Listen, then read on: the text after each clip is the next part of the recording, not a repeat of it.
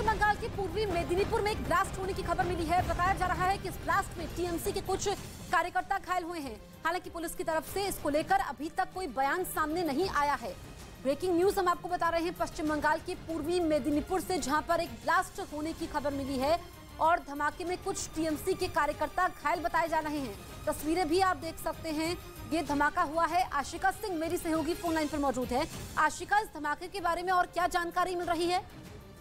देखिए, तृणमूल कांग्रेस के बूथ सभापति का ये घर था जहाँ पर ये विस्फोट हुआ है। तीन लोग गंभीर रूप से घायल हैं। हालाँकि पुष्टि नहीं मिली है। हो सकता है कि ये तीन जो है बचे न। और आ, मैं ये भी बता दूँ आपको कि जो संदेह जताया जा रहा है वो ये भी है कि हो सकता है वहाँ पर बम बनाने का काम चल रहा हो जिस दौरान ये बम फटा हो और जिसमें ये तीन घायल हुए हों। हालाँकि अभी तक पुलिस जो है वो पुष्टि नहीं कर पाई है पूरे मामले की क्या हो रहा था क्यों हो रहा था और जो ये टीम है उनकी क्या अवस्था है।